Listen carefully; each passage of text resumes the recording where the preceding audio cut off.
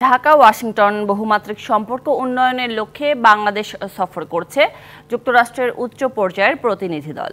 যুক্তরাষ্ট্রের অর্থ দপ্তরের সহকারী আন্ডার সেক্রেটারি ব্রেন্ট নেইম্যানের নেতৃত্বে ছয় জন সদস্যের দলে আছেন মার্কিন সহকারী পররাষ্ট্রমন্ত্রী ডোনাল্ড লু, যুক্তরাষ্ট্রের ট্রেজারি বিভাগ ইউএসএআইডি এবং মার্কিন বাণিজ্য প্রতিনিধি কার্যালয়ের প্রতিনিধিরা।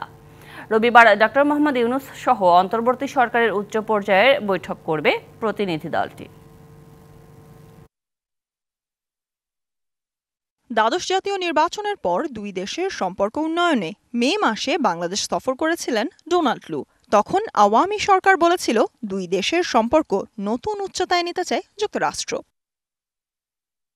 তার ঠিক চার মাস পর মার্কিন সহকারী পররাষ্ট্রমন্ত্রী ডোনাল্ড লু আবারও ঢাকায়। তবে অন্তর্বর্তী সরকারের প্রধান ড মোহাম্মদ ইউনুসের সাথে বৈঠকের উদ্দেশ্যে।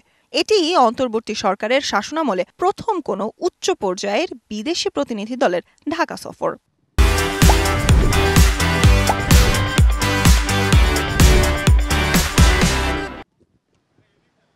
শনিবার সকালে মার্কিন ট্রেজারি বিভাগের অর্থ বিষয়ক আন্ডার সেক্রেটারি ব্রেন নেইম্যানের নেতৃত্বে পাঁচ সদস্যের দল ঢাকায় আসে। দুপুরে যুক্তরাষ্ট্র, বাংলাদেশ বিজনেস কাউন্সিল ও ইউএসএআইডির সাথে বৈঠক করে প্রতিনিধি দলটি। বেলা তিনটায় দিল্লি থেকে ঢাকায় আসেন সহকারী পররাষ্ট্রমন্ত্রী ডোনাল্ড লু। সন্ধ্যায় একে একে তার সাথে সাক্ষাৎ করেন বাংলাদেশে নিযুক্ত deputy high commissioner US aid director সহ আরও অনেকে।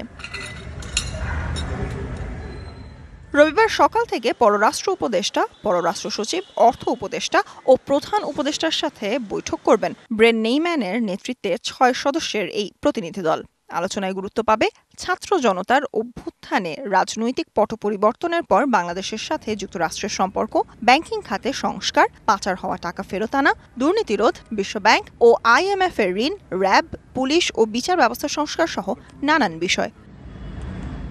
Sultana Swarna DBC news, Dhaka.